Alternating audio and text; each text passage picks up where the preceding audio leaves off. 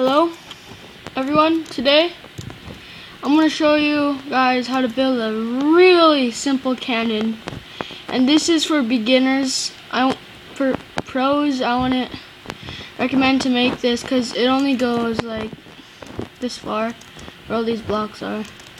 only goes that far so this is for beginners. So I'm going to show you how to build it. So the materials you'll need are redstone of course repeaters, a button, you can use any button, change, change a thing, and then TNT. And a water bucket, and then you're gonna need a slab. You could use any type of slab. And then you're gonna need a block, and I like to use stone. Like use stone. Okay, so let's go build it over here.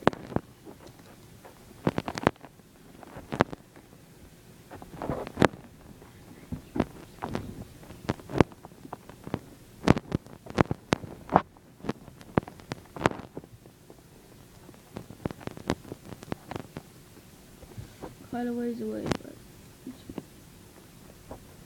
so, um, this cannon's really simple, like I said, for beginners. So, pros probably don't want to watch this, but okay. So, you're going to need one, two, three, four, five, six, and then one right there, one right here, and six again. And then you're going to double layer it, and put that right there. Yeah, like that. And then put your slab water source down there and it should flow to the end here. Then your redstone here.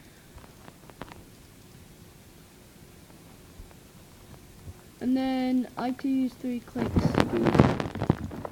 Doesn't really matter how many clicks you use. I just use three. And then we're ready. You see that is really simple and then you just put your button. This is really for beginners. So, if you're not a beginner, this is not the cannon for you, but it's okay. And then, to shoot it, you just put a TNT block right there. And then all in the water, but don't, if you put it down there, under there, it'll stop the water and then the whole thing will blow up. So you put it right there, and then you put the TNT there.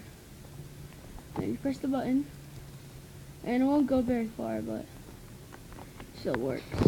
See, it goes that far, which is not very good. Here, I'll show you that one more time.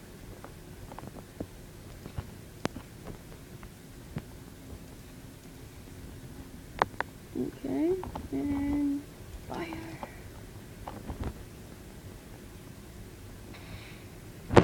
Oh, that one went better exploded up here. Some are better than others, but yeah.